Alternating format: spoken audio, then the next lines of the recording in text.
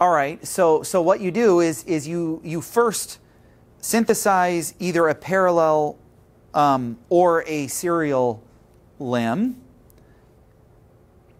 And then you make one of the things in there serial, uh, you know, either an element or, or a system to, to make the limb hybrid. Okay? And, and so I'll show you how to kind of do this. Okay, I'm, I'm just going to take, I mean, you already know how to do it, but I, I'm going to do an example because uh, from here on out, there's really no new principles to teach. It's just practice, um, whether you realize it or not. Except interconnected hybrid, by the way, is, is um, something I'll teach in a follow-on uh, thing. But other than that, you, you should be masters of fact at this point with, with not a whole lot more to learn. Okay, so say you've got a ground here and a stage here, and uh, this stage achieves three orthogonal rota- translations and two rotations. Okay, so it's basically our flexure coupling uh, freedom space that we want to pass the moment through but have everything else be compliant. So we're just going to do a case study here. And I'll, show you how it's relevant to what I just told you when, when I get to the, that point. Okay, so what's the first step? You find the freedom space. Its freedom space is this. Okay, and then you find its constraint space. Its constraint space is that. Great. All right. Um, let's say we forget about hybrid stuff for now. Let's say we just want to design a serial system. Okay. So, well, this is a review of, of last lecture. What you do is you find intermediate freedom spaces. So in this case, um, here's the freedom space. It's got all these, you know, this translations and screws and everything. But forget the screws for now. Let's just find, let's just pick two intermediate freedom spaces. And let's, let's pick the same one twice. Hopefully you can see how these planes in a box of parallel red lines and these translations, two of them stacked on top of each other, would fit within here and could linearly combine to make this. Okay, and believe it or not, these are in the parallel pyramid. Their constraint spaces are this, right? And so they're totally acceptable intermediate freedom spaces. The question is, already do we know is what, what's going to result going to be um, uh, under constrained? And the answer is, yeah, we know because how many things are in here? There's four independent uh, twists in there, four independent twists in there, and this one should have five. So this will be under constrained three times.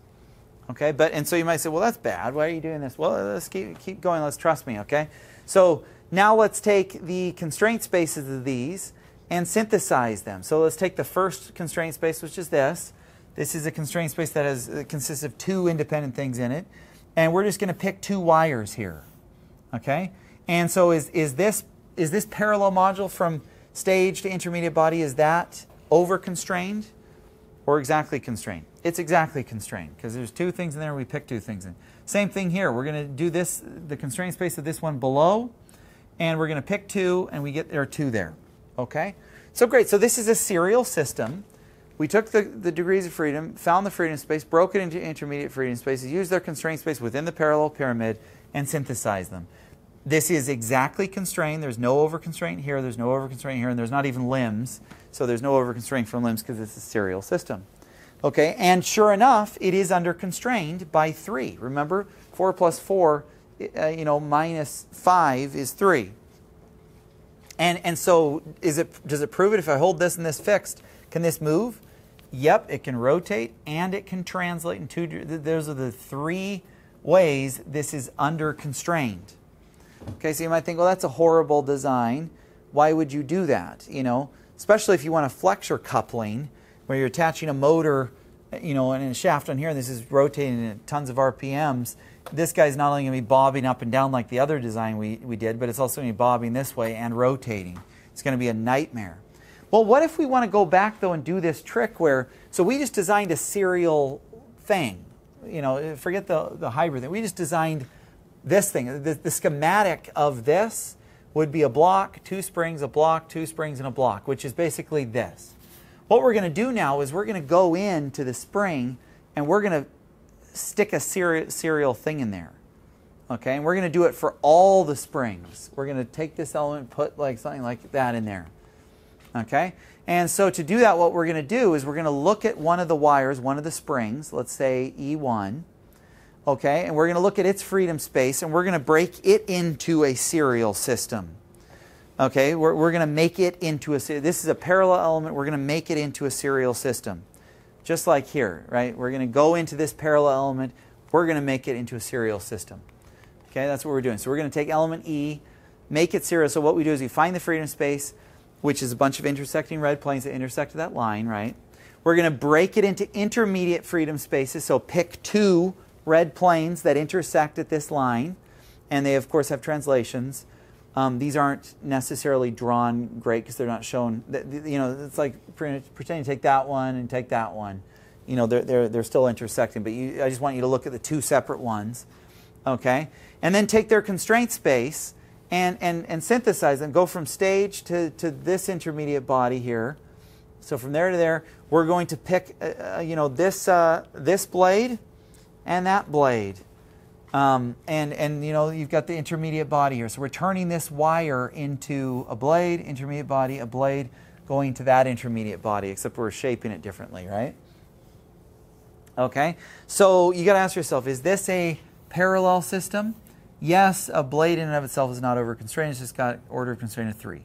Is this one? Yes, so there's no over constraint there. There's no over constraint here. This whole thing is not uh, over constrained, okay? It's exactly constrained. If we now do the same thing to E2, E3, and E4 and, and reshape stuff, move the stages around, you get something like this. So you see the, you know, these two right here essentially were equivalent to E1 with the blue line here. And these two here were equivalent to E2, and those two here are equivalent to E3, and those two here are equivalent to E4. And this is a system. Indeed, it is a system, right? Obviously, there's a ton of intermediate bodies in there. We just, we just took this system and stuck that in there, and we did the same thing there, there, and there. And so that would be the correct schematic of that. So you have, you know, one, two, three, four, five intermediate rigid bodies.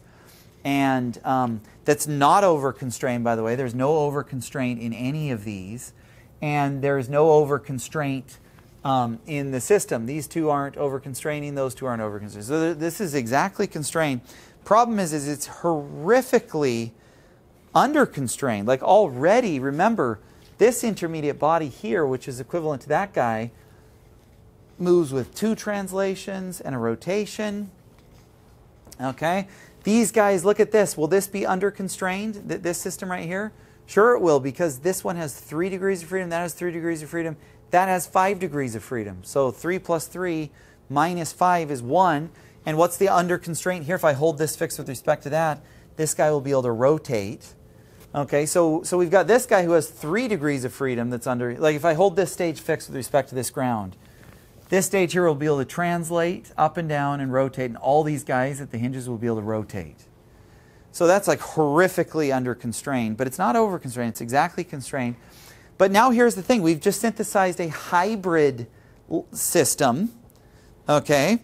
And now if we shrink, this is one of the cases where we can take the rigid bodies and shrink them to point lines or curves, in this case to lines. So you can get rid of these rigid bodies and shrink them to lines. So now it's a hybrid element. Okay? Now, of course, it was it, as a system, it wasn't even over constrained, but as an element, it can't be over constrained because elements aren't over constrained. They just have an order of constraint. Okay? It's obviously got an order of constraint of 1, right? Um, because its constraint space is just 1, right? Okay? And um, is it under constraint? Well, it, the system was heavily under constraint, but because we got rid of the intermediate bodies, there's no intermediate bodies here to even have redundant degrees of freedom. And so there's no masses that can bob around or be under constraint. If I hold this fixed with respect to ground, uh, you know, because there's no stages, nothing can move around, in theory, right? And so this is, it's not considered under constraint anymore, and this is a hybrid element, okay? So what I did with this example, and by the way, this is a cool element that also just gets a pure moment. So this would be nice to stick a stage to. Here you stick a motor and a, and a, and a shaft to rotate it. This would do fine as a flexure coupling. It would just pass the moment through stiffly, and all the other motions would, would uh, be constrained. So so this is another hybrid uh, element that uh, does just a pure moment. And it's, it's clean. It's a nice planar design that can be cut. Now, in truth, though, because it's so under constrained when you consider the mass, and because in truth, we're, we're no longer in theory land here, these do have mass, and it's so under constrained, you will find this guy, there's mode shapes where these guys are going to be bobbing around. Um, especially the center thing will be bobbing around. And so you will have under constrained issues, so be careful. Even though in theory there's no mass, there is, okay? So, okay, so what I taught you here is I did an example that can show you how you could take a serial limb and turn it hybrid. So you could synthesize hybrid systems that are made of hybrid limbs. At the same time, I also taught you how to go in and take a serial system and make it hybrid, but then I also taught you a way to make hybrid elements and just kind of introduce hybrid elements, okay? So that, again, that's, that's one way you could do is just design a hybrid system, get rid of the masses so they're point lines and curves, and, and you've got it. Um, again, it's risky because sometimes you can't get rid of point lines and, uh, shrink masses to point lines and curves. Um, uh, and so you, would want to use intermediate constraint spaces to help you align them so they do shrink to point lines and curves. And you, you would do that because you don't care about intermediate uh, freedom spaces. You know, you don't care about um, whether something's under constraint or not when it's a hybrid, when it's an element, okay? Okay, so we covered a lot of ground and I brainwashed you in lot, lots of ways that, that you don't realize is very helpful, okay, with this example. Okay, let's look at other hybrid flexure elements. Okay, so we've introduced this. We might as well address this directly. Remember, there's parallel elements, serial elements. Now there's hybrid elements. Here's the example I gave. Here's the schematic of it. Notice there's no rigid bodies in there. It's just points on the schematic. But in reality, they're lines at the, you know, uh, at the intersections here. Okay. Okay, um, here's, here's kind of a library of hybrid elements um, that are interesting. Again, this isn't exhaustive, this isn't complete at all. This is just to give you some helpful things and help you. I, I want you to look at these and try and analyze their freedom and constraint spaces and convince yourself I'm correct here. Um, and also just have a library in case you ever need to just swap them out and use them without having to think about it. Okay, but here's order of constraint of zero, which means it gets six degrees of freedom. This is another six degree of freedom uh, flexure you could do. Okay, and this is a hybrid uh, system. Okay, be classified that way. Okay, here's here's another here's a hybrid. Uh, sorry, this isn't a system. This is a this is a hybrid element. Here's another hybrid element. Um, here's the two rigid bodies it joins, and it's kind of a football, you know, goalpost there. You know, it's a that that's a hybrid element. Um, that, that, that can be swapped out for a wire flexure where there is its constraint space. So that's kinematically equivalent to a wire. Okay. Here's, here's a hybrid element that um, uh, you know just does a, a, moment, a pure moment, and we just showed that. But here's actually the best. If you if you actually want to do flexure coupling, okay, let, let me actually raise this up and show what you could do. Um, a really great flexure coupling is you could take um, you could take a sheet and cut it into like basically a cross like this, a flat sheet. And then what you would do is you would fold it on these dashed lines. You take and fold them forward, and then you'd fold these two on these dashed lines, but back the other way.